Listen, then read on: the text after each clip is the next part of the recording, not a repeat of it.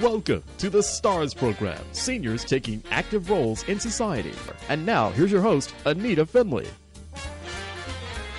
Now, this is the author day. We just finished with a wonderful author, and now we have someone actually is a friend of mine. She lives outside of Dallas, and we went to uh, we went to the, well, we lived in Miami together. And when I rediscovered Carol, here she is writing a book, and it's just absolutely wonderful. So Carol, um, I just want to tell you that uh, your book, A Nickel for the Boatman, the novel, is really special. And I told you this when we talked before because I know so many of the places in that book.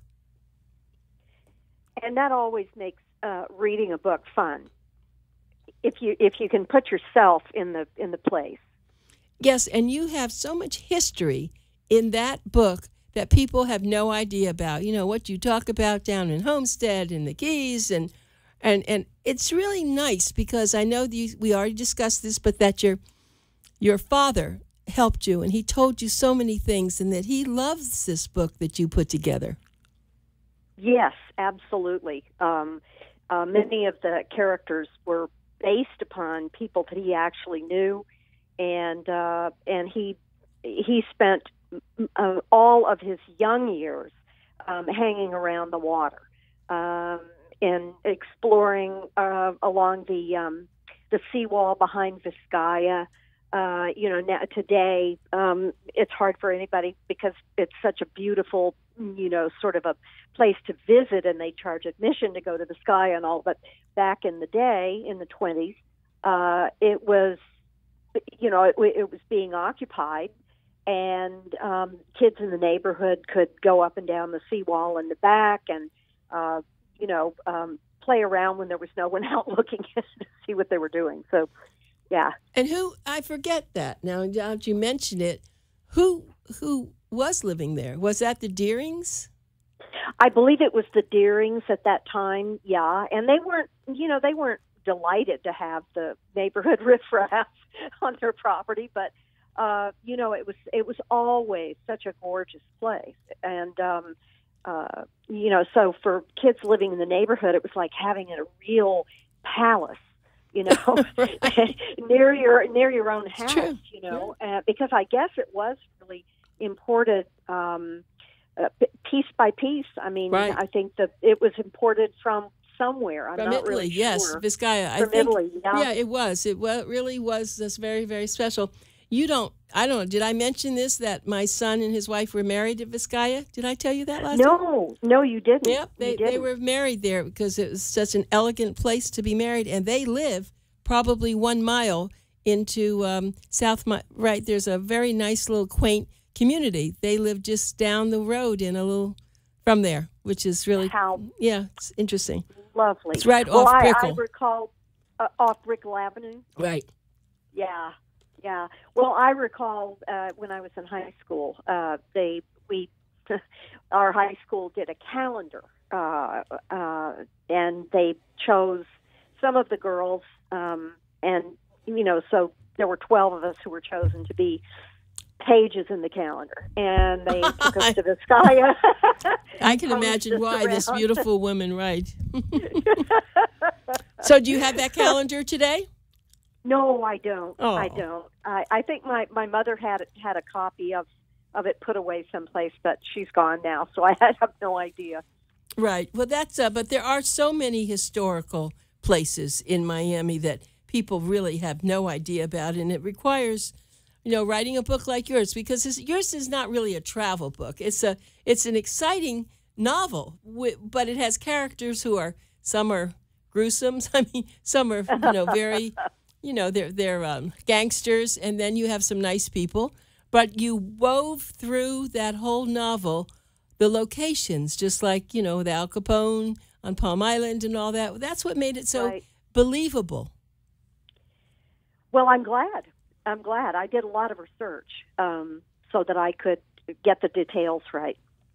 Well, and of course you were an English teacher, right? So you I was, yes, for many years. So that helped you uh, accomplish this. But you know, I remember when you and I were both there in Miami, in the University of Miami. I don't know if you've been back lately, but it sure doesn't look like that. Oh no, I haven't been back for years. But I, even the last time I did come down, I it was probably oh 15 years ago at least. Um, and I, I was astonished. I, I felt that I wouldn't even be able to find my way around. I, it, you know, I was if I were if I had been in a rental car instead of with someone else, I would have been totally lost. Well, of course, we have that one, you know, US one, which takes you all around. there. right, right, exactly. But it's and I amazing suppose what that does. Yeah, but what they've done with the western part out there, I mean, Dadeland and Kendall, but it goes west. I mean, in fact, FIU, which is Florida International University, is now way, way, way west. I mean, there are things uh, that I'd like to go to see there, but it's too far away. Right, right. Yes. Do you remember when you know when we when we lived there? I think you and I made a trip across um, on what used to be the Tamiami Trail that cut across from uh, Miami to Right. Naples. I right. think. Which is now And- and it- Alligator Alley, right? Yes, Alligator Alley, right. And but but I you know those uh, those areas uh, around, and even even up as far as Lake Okeechobee um, are are you know wonderful nature sanctuaries now, which is a wonderful thing that you know that happened. Well, so let's just talk a little bit about your book. So, uh, how does it come to someone who's such a gentle person as you to write some gory things about murder? How do you how do you do that? Well, actually, I think the idea might have been sparked by my son, who, um, uh, you know, I had given him a copy of the manuscript when I was just really just starting to work on it. I had maybe three or four chapters done. And he he suggested, he said, you know, I think you really need to have uh, you know, uh, you need to open with something that's really exciting and so forth. And Yeah, right. so, so I that's how I kind of conceived the idea that uh, you know that the, all of these things that had happened to Edward Boyd when he was a young boy come sort of come back to haunt him in his old age, and he has nightmares and so forth about the Everglades and about th- the things that happened to him when he was younger. Um, and uh, having spent some time in the Everglades, um, you know, I can easily, I could easily imagine some of those things taking place. Uh, you know, that would be a perfect place to bump bump someone off. You know now- get rid of their body. Right. Do you know now in the Everglades they they're loaded with boa constrictors? I actually I had heard that recently. Yes, what a And- terrible thing. It's terrible. I guess they were imported, Yeah, and and yeah. a lot of them got away. And Ex- or or themselves. people had little ones, or they you know, and then they decide to get rid of them, and then they must. Oh, it's really a terrible thing, and they don't even know how to get rid of them now.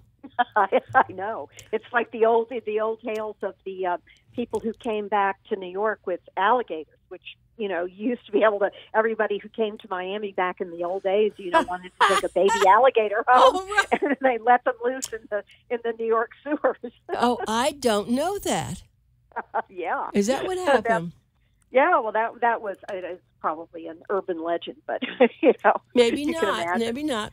Do you remember when you came down to Miami uh, and the tourists, they would wind up with these little, small, little tiny crates with little orange gum balls or something in them? That- oh, that were supposed to look like little oranges. Yeah, exactly. And they would take, Yes. you'd mail them back because here's some oranges from Florida. right. I do. I do. And in fact, one of the scenes um, in the book that takes where Eddie, the main character, and Manny, his sort of mentor, are walking through uh, one of the fruit stands um, down, actually off, and um, that was actually um, a, a, place. I mean, the the details of that fruit stand came from my my memory of a fruit stand that was near the elementary school that I attended Huh. when I was a kid. Because I I even though my family moved out near the airport, uh, I still went to a school that was near. Um, ah, I've That, forgotten the that name fruit, of the that fruit stand, huh? near that fruit stand, yes, exactly.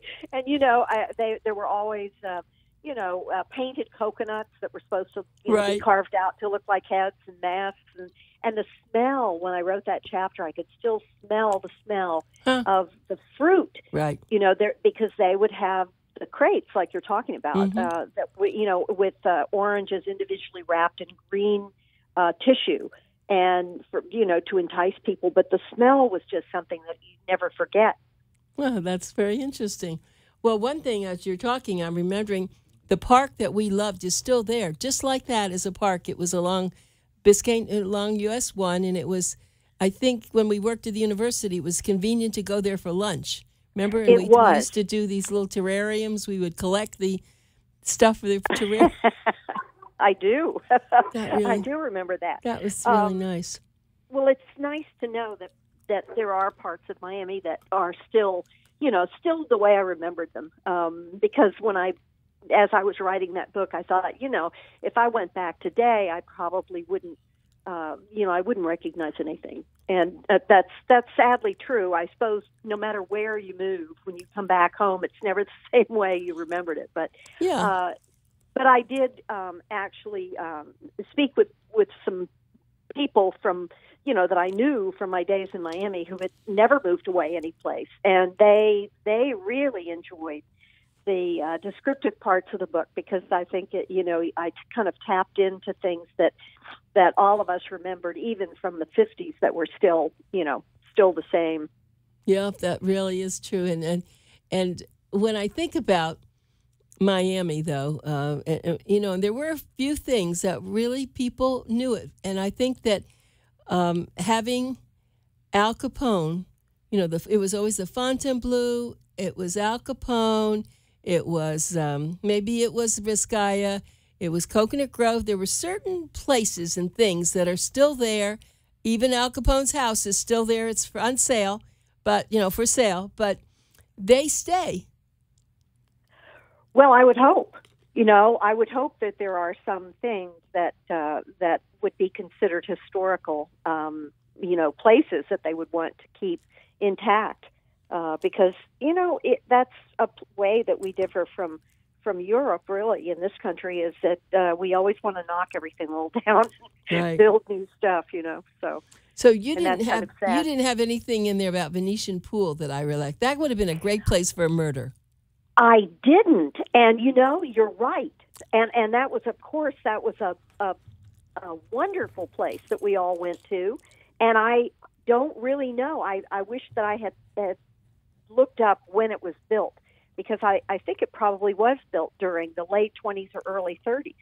Mhm. Um, you know, all out of coral rock, and- right, and right. made to look like a tropical paradise. And that's something, of course, that all of the, the you know kids in my generation and yours, uh, we spent lots of time in the Venetian pool when Yep. we were kids. And Matheson Hammock.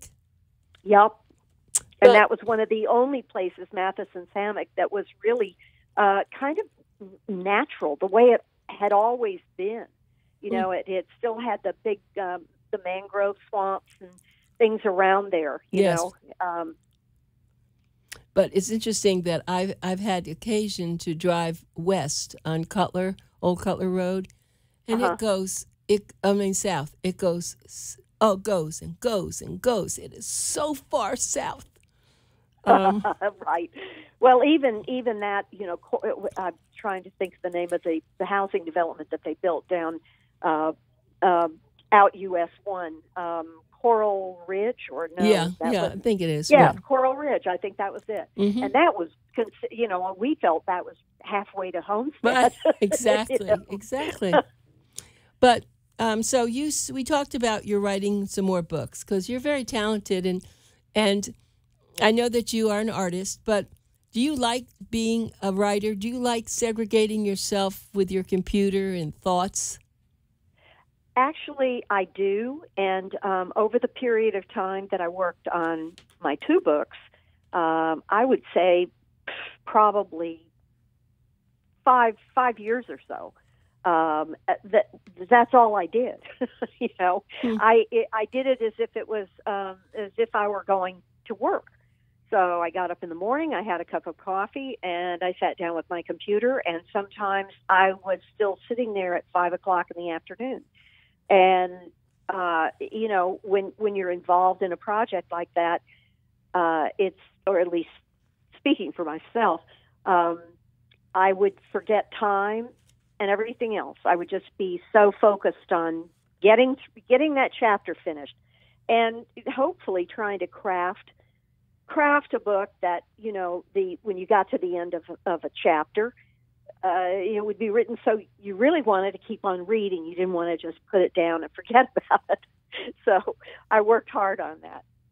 Yeah. Um, i i did actually uh, i sent uh, a, per, a person who was actually quite instrumental in the writing of uh, Nickel for the Boatman was uh, Lester Gorin, who uh, was a, a, a writer and also a professor at the University of Miami and, and a friend of uh, both of ours, I guess. Yeah, I remember uh, him. And yes, he's he's passed away uh, in the last couple of years, I believe. But um, I sent him uh, a copy of of the manuscript when it was just a little way along, and his comment was, "It's wonderfully descriptive, but this is a memoir, not a novel."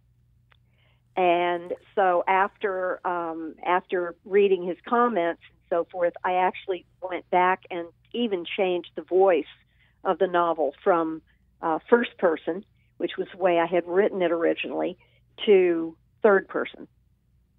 Yeah, yeah, that, yeah. So you you had to switch so, and things. that took a lot of work. Yeah, because, yeah, it does. You know, I basically had to go back through and and completely rewrite a lot of parts, but uh, you know, I think it worked better as a third person uh, account. mm-hmm. But uh, I love, I, I suppose I was very influenced um, by The Catcher in the Rye. Um, as as an English teacher, that was one of you know one of my favorite novels to to uh, to teach. And who was um, that by? I, I, forget.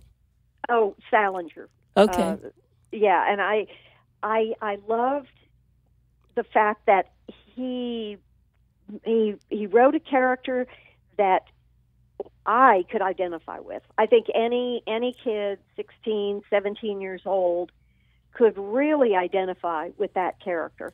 And so when I began developing the character of Eddie, I wanted a character who uh, who who thought things were foolish that adults did, or or questioned things that uh, you know he was supposed to take uh, as gospel truth, especially going, you know, a, a, a boy in a Catholic high school who's not supposed to question any of the, you know, religious um, doctrine, and yet he, because he's a naturally curious person, he does question, and so I think that made for some uh, kind of funny uh, mm-hmm. moments, you know. Yeah, it did definitely because, uh, but he he uh, it's in, it's interesting to see how somebody can go awry. Here, this kid was pretty nice, but because he was on, you know, people weren't watching over him. He didn't have a kind of family relationship like you know you'd like to someone to have had. Yeah, they were too busy. yeah, too busy exactly, and he got in trouble. Yep, yep, because he was, uh, you know, he the slot machines and and the you know idea that you could you could make a quick buck uh, at at that time, that was very appealing to him. And uh, he, even though his good friend would have been shocked, so he had to sort of cut off his relationship with his friend for a while while he was engaging in these, you know, uh, uh, questionable activities. Uh, he um, he really the the pull of of the idea of perhaps making deliveries for you know the mob, uh, dropping off um, packages or picking up packets of money to deliver them to the higher ups, uh, and being able to make you know maybe five dollars for that. Well, that was a fortune at that time, so that was very hard for him to um, resist until he finally realizes that he's gotten in way over his head. Right, but at first, I don't think he knew he was doing something bad. That because you know, he he always went where the that man was at the shoe shine, right? And yes, yes, exactly. Really, he didn't know, uh, did he? Did you think well, he knew at the beginning? Mm, I think that he he suspects in the beginning, but he finds out very quickly that uh, that Manny is um, does you know is a member of the mob, and when he finds that out, he that kind of causes him to pause a bit and think, "Do I really want to do this?" But then he he just can't resist the idea that you know he could he could get into these back rooms and find out what really goes on in there, you know, and uh, and almost every back room at, in the arcades in Miami at that time had uh, a telephone to you know with a, Right. to a bookie, you know, and the racetrack was a big deal. So when the people, you know, snowbirds were coming in from New York, uh, going to Hialeah racetrack uh, Right. was uh, was very much on the agenda and so that and gambling was just everywhere and uh, and uh, the bootleg the bootleg liquor Mm. was everywhere too Mhm. so Well, his uh, but his daughter really that was nice. Where he really came, and I thought of you and your father, although he wasn't didn't do the kinds of things that Eddie did, but he certainly loved his daughter. Well he loved his daughter and he found out uh after having hidden his past for many many years Yeah, that uh, because he was afraid. He he he he was afraid that uh she wouldn't that she would be shocked. She wouldn't accept him if she knew the things that had happened to him. Hmm so it's very painful for him to finally confess to her what has caused him to retreat and kind of um cut off from his from his family and so he she, they come back together at a time when he is very he's he's 87 or something i've forgotten exactly how old he was uh, but he realizes that time for, for him is limited and if he wants to reestablish a relationship with his daughter he he better do it now so right. And so, um, your your other book though is not about this. You wrote another book. I don't know much about your other book. I did. My other book, Trail of Evil, uh, was um, it, it takes place in Seattle, and it really um, has to do with. Uh, I, I don't know if you're familiar with the term affluenza, but it's been bandied about in recent years uh, because they're uh, when a very a kid from a really wealthy family gets in big trouble, and there was one who uh, became quite notorious because he he did something really terrible, but he was he was let off with a very almost a slap on the wrist. Uh, That's called affluenza. because uh, well they that was when the term affluenza came about his attorney uh, said well you know this poor boy suffers from affluenza you know meaning he he just uh, he's lived a life where there was so much money and really that he he just you know thinks that he can do anything. And so the main character in Trail of Evil is a child like that. And and he's he's a late later teenage boy who goes to a private school and manages to uh you know go in a very bad way and gets involved with the Russian the Russian mob. And it becomes a cyber uh criminal and uh so it's a very it's it's a it's a very different book it's it's really a a, uh, a book about involving you know murder and rape and the things that uh, a wealthy kid could get into and think that his you know that that his family can buy can buy his freedom Wow. that he he's he's above the law in effect What made you do that one? What made you have that theme? Well actually uh, i had an experience as a teacher with uh, with a student who, who who ran afoul of the law and uh, was a brilliant, probably certainly a genius, uh, one of the one of the brightest students I ever taught. But he was into um, petty crime from the time he was in junior high, and so uh, and he eventually did go to prison. Well, So, so, that's what you I do. mean, I it- Yeah. but you know, well, as I say, it was loosely, you know, the the inspiration probably came from that and the fact and, and this other trial that was very much in the news at the time about the very wealthy boy who had been pretty much let off because his fam- family had a lot of money. Hmm. And all of those things combined, and I said, "Well, I I know this story. I can write this." Right. story." Exactly. And so uh, this is your now this book uh, is published. Yes, uh-huh, it's available on um, Amazon. It's uh, it can be downloaded for Kim, uh, uh, Kindle. And what is the name uh, of it? Another, you know, uh, Trail of Evil. Trail of Evil. Trail Okay. of Evil. And is it Carol? Uh, how how do you use both names? Well, I believe you know, I don't have a copy of the book title, but I think M.C.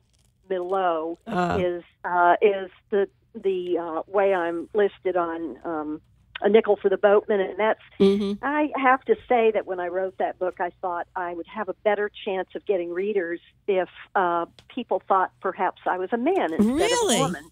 Uh, yeah, because I'm writing about a boy from a boy's point of view, and so I thought maybe it would be more believable if they thought that I was a, a man. So I I didn't use my first name, but the other book I think I'm uh, I I'm uh, Carol Milot, I think. Well, Carol Malo, I really have enjoyed this so much, and we we will uh, continue to do things together. And I thank you so much. I love your book, and I know people will also love it. A Nickel for the Boatman, a novel. You can go on uh, Amazon.com and you can look up um, Carol Luter Malo, L U T E R M I L O T. Thank you so much, and I'll be talking with you. Great. Thanks, Anita. You're welcome. Bye, Carol. Bye.